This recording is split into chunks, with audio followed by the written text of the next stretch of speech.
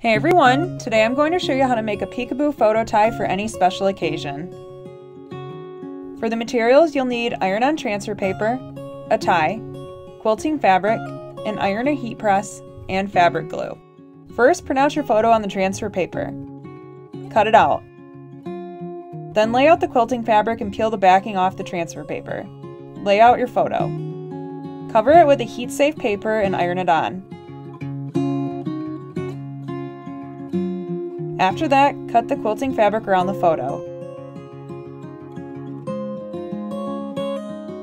Luckily I had a template, but then you'll have to figure out how to cut the photo to fit in your tie.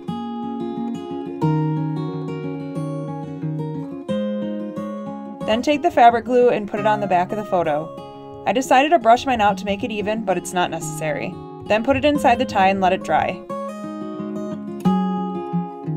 And that's it! I made these for the special guys at my wedding and they love them. If you enjoyed this tutorial, please make sure to like, comment, or subscribe below.